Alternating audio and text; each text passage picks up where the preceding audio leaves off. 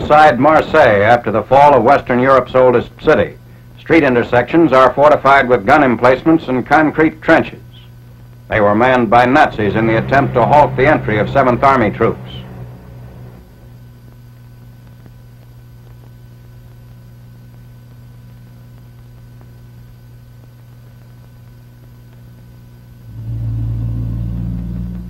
Allied bombings and Nazi demolitions destroyed docks, warehouses, dry docks, and other port facilities. Entrances to the area were partially obstructed by scuttled ships. However, the fast retreating Nazis lacked the time to blow up electrical plants or to cut the city's water supply.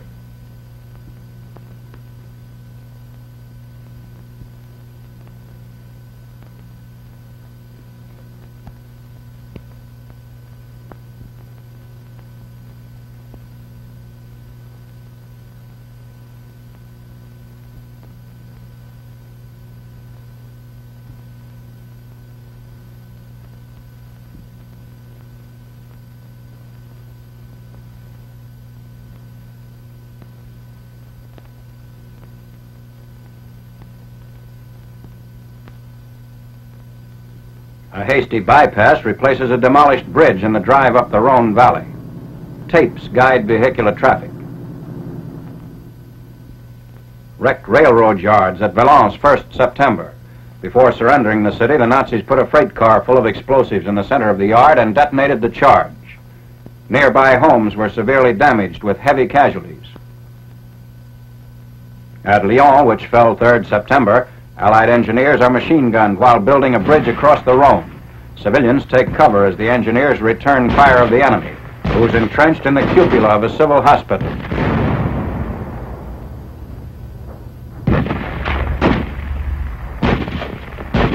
Lyon's last-ditch defenders were quickly wiped out. Crowds cheer the first troops to enter the large industrial and textile center.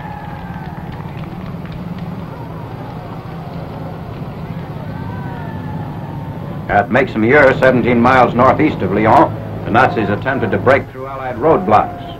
They lost six tanks and two self-propelled 88s mounted on half-tracks. All were knocked out by light armored cars, which the infantry borrowed from a tank destroyer outfit.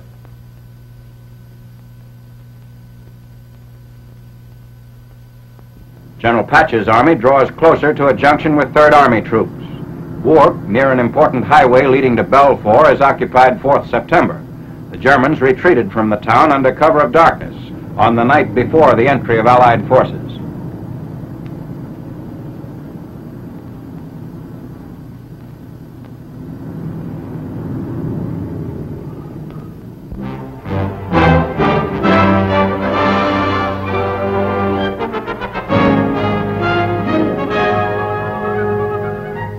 Quiet since reaching the Arno in July, the Fifth Army front becomes active again as Allied units cross the river to advance toward the Gothic line. Here on 2nd September, after holding the southern part of Pisa for over a month, forward elements of an anti-aircraft artillery battalion crossed the Arno into the northern section of the city.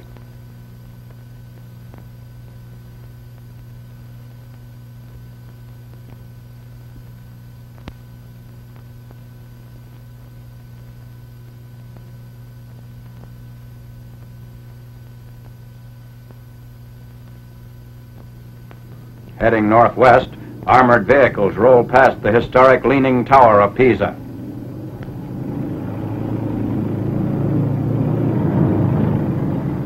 Lieutenant General Mark W. Clark, in command of the Fifth Army, is joined by a member of his staff in an inspection of the 14th century structure which the Nazis are reported to have used as an observation post.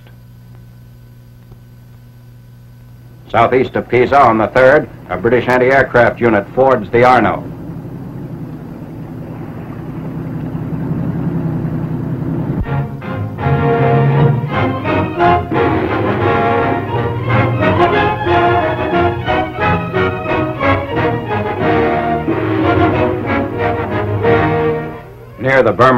work progresses on the Huitung Bridge. It spans the Salween River east of Tungyue, the walled citadel that fell to Chinese troops after a six-week siege. The 90-meter suspension bridge is constructed by Chinese labor under the supervision of the Burma Road engineers. One and three-eighth inch cables support the bridge.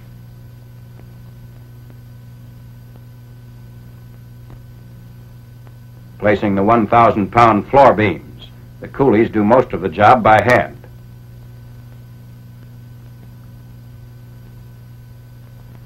Bolting a floor beam to the suspender cable.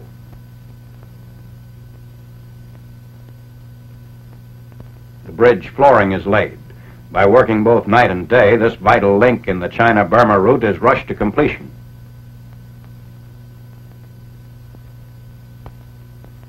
Widening the road on the eastward approach to the Huitong Bridge. A blasting crew places the dynamite.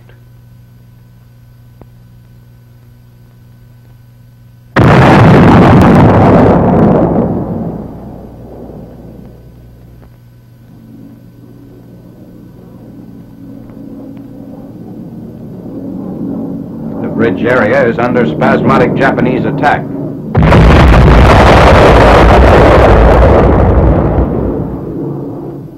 After the bombing, a dud is discovered near the bridge. The 250 pound high explosive bomb is minus the tail fin, which was knocked off on hitting the ground. Six sticks of dynamite and two charges are used to destroy the bomb.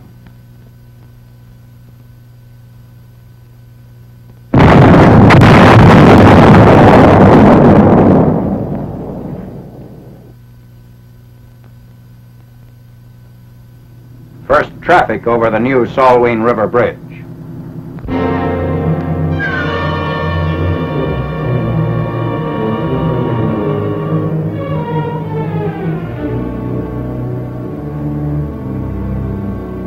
Aitape in northeast New Guinea, infantry troops plod through wet and almost inaccessible jungles in the campaign to hold the Driniumor River lines against fanatical Japanese resistance.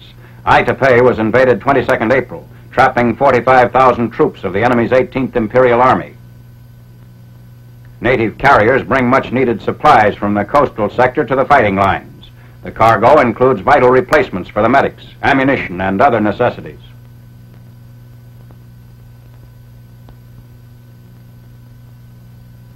Supplies are unloaded at an infantry command post.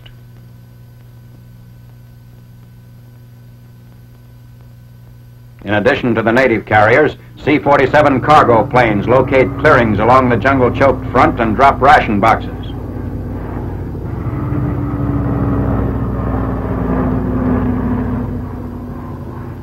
Aitape is 150 miles southeast of Hollandia. Both were taken last April.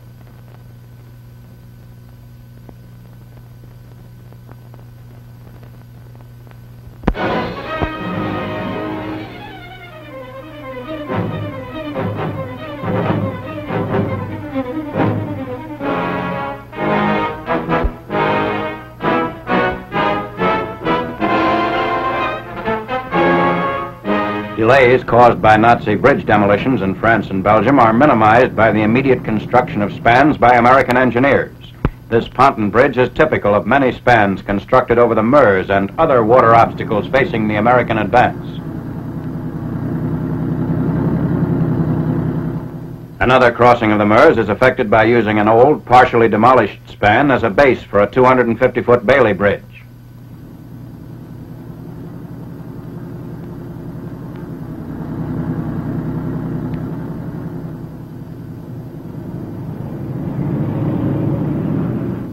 On 1st September, armored vehicles of General Courtney Hodges' First Army opened fire on the French town of Dercy in their drive toward the Belgian frontier.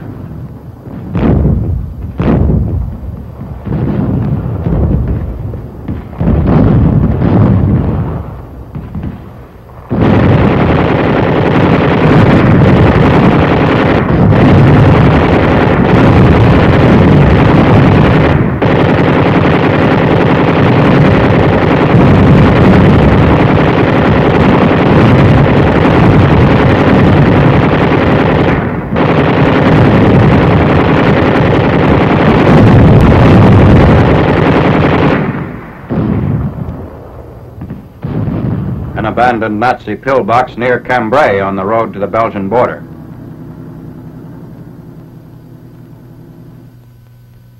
St. Quentin falls to the First Army 3rd September.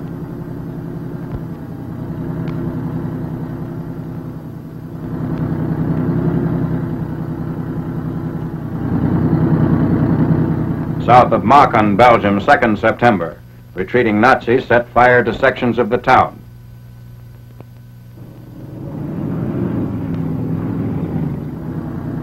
At 1915 hours, 2nd September, the first element of General Hodges' army crosses the Franco-Belgian border.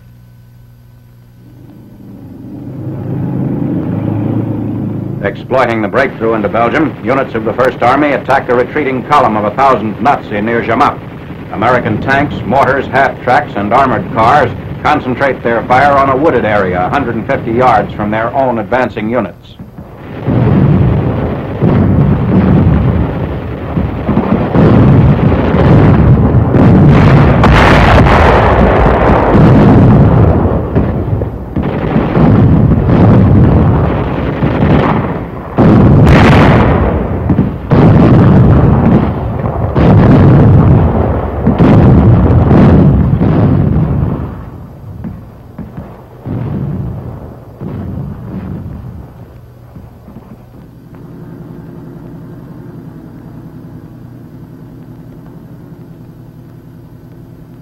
A captured German captain, accompanied by a party of Americans near the French border in Belgium, urges his men to surrender, explaining the hopelessness of their position.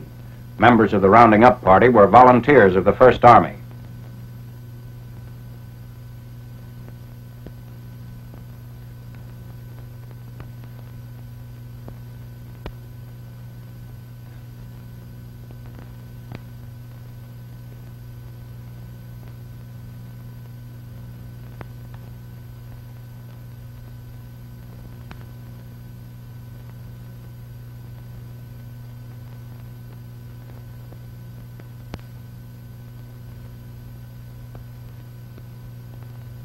More than 300 prisoners are taken.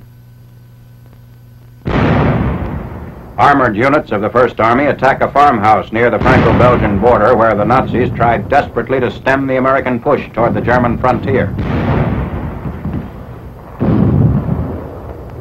Resistance at the farmhouse ceases, but Germans escape through a tunnel leading from the building to an enemy OP in the nearby forest.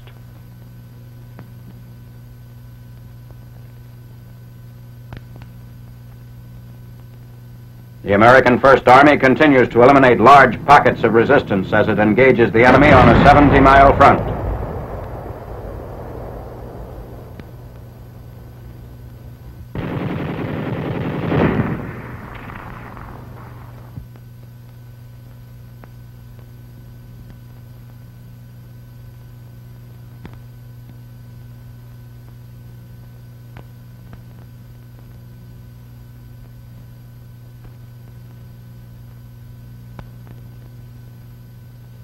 On 4th September, a U.S. patrol sets out to investigate a case of Nazi mass murder and destruction perpetrated in the French town of Martincourt, a reprisal against the citizen population for an FFI military incident. On 2nd September, FFI men ambushed a German staff car near the town, whereupon members of a German Panzer Grenadier division surrounded the village, setting houses afire and shooting at everything in sight. Some of the population managed to escape, but only after being ruthlessly beaten.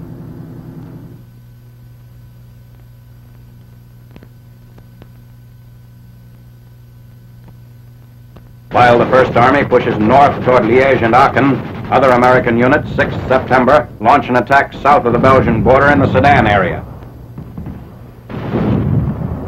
P-47s aid in harassing fleeing Nazis.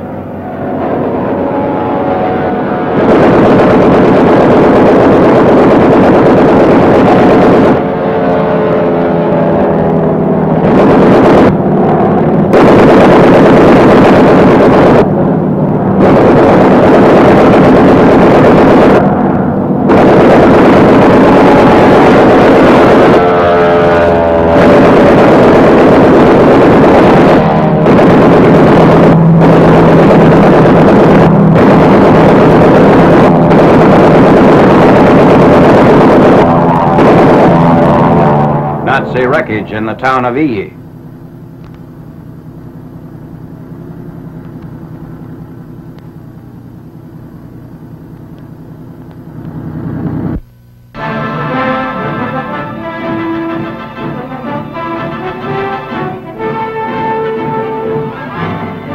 On the right wing of the American advance, elements of General Patton's Third Army are helped across the Meuse River by a barge supplied by a French patriot. Nazis caused a temporary slowdown of the American pursuit by demolishing the bridge at this point. Infantrymen advanced to Saint Mihiel, where in World War I on September 12, 1918, the American Army launched its first offensive as an independent command.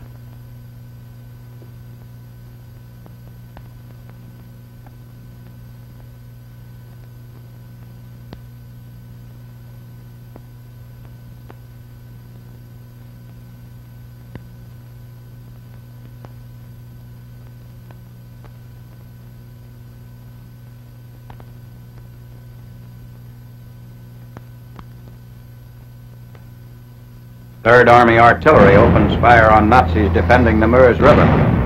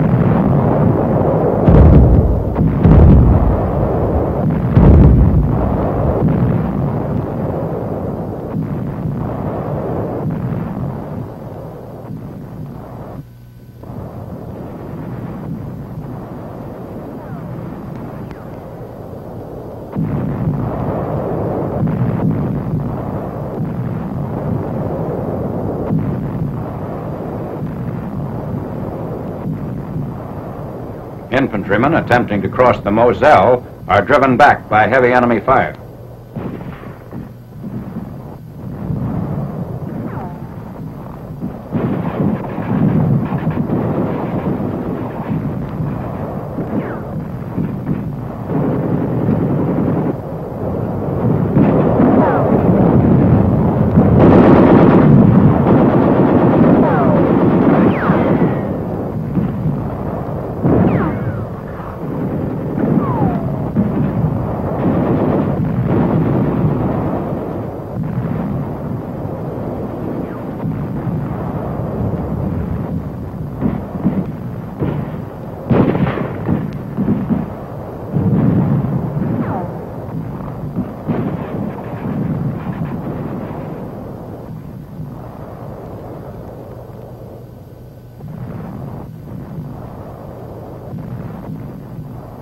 Nazi positions are neutralized.